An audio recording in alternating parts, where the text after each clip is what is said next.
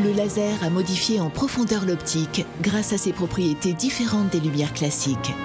Le laser, c'est avant tout une lumière concentrée et ordonnée.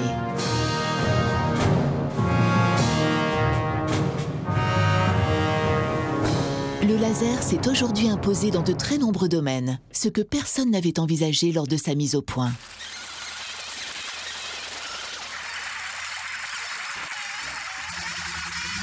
Le mot laser est devenu très courant. Mais que veut dire ce mot? Laser veut dire en français amplification de lumière par émission stimulée de rayonnement. Les lasers se sont développés très rapidement. Il en existe de toutes sortes. Les plus courants sont les diodes laser.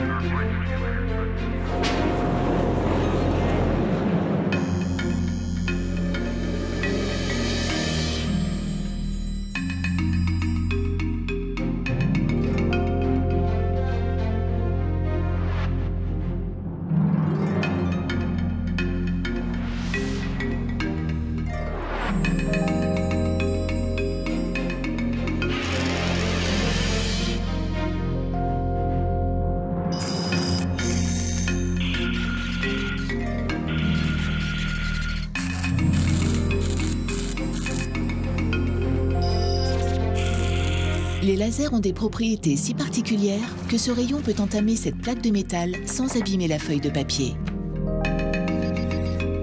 C'est pourquoi on les utilise couramment en médecine pour des opérations de chirurgie.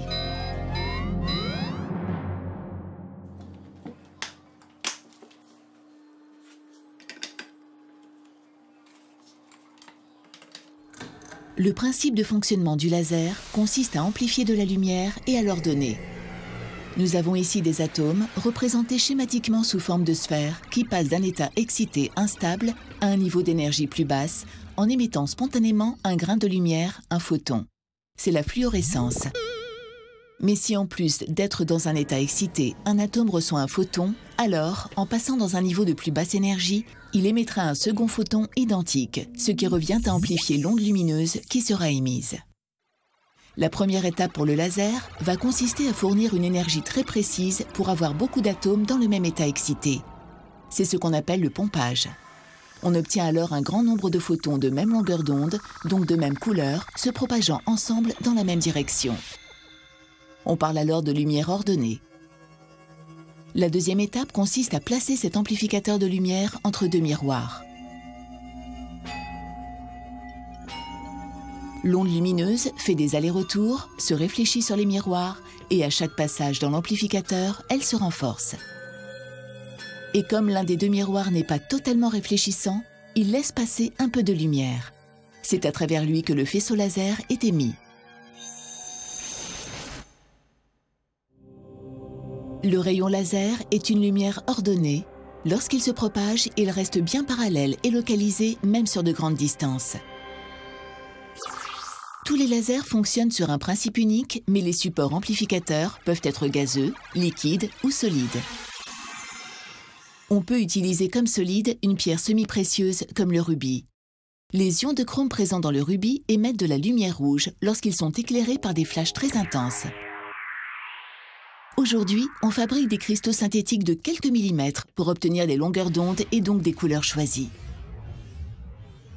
En fonction des besoins, on utilisera des lasers qui émettent soit de la lumière visible, soit de la lumière invisible à l'œil nu. Et désormais, certains lasers peuvent produire plusieurs couleurs à la fois, ce qui va permettre d'effectuer des mesures très précises de longueur d'onde comme une règle.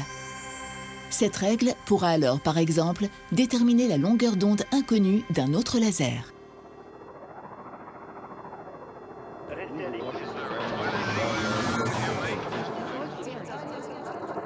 L'histoire des lasers est le parfait exemple de l'impact de la recherche fondamentale, non seulement sur la science, mais aussi sur notre quotidien. Ils se développent encore aujourd'hui de manière très importante et investissent de plus en plus de domaines.